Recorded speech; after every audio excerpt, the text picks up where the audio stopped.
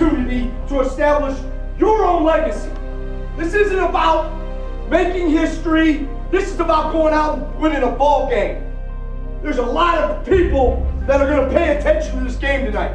This is an old school rivalry. Olentangy and Big Walnut.